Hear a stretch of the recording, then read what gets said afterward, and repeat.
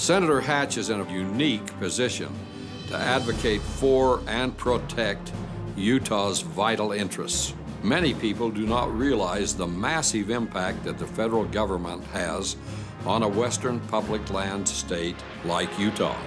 Simply put, Utah needs a senior senator in Washington who has both clout and experience in dealing with the federal government. I'm Senator Orrin Hatch, and I approve this message.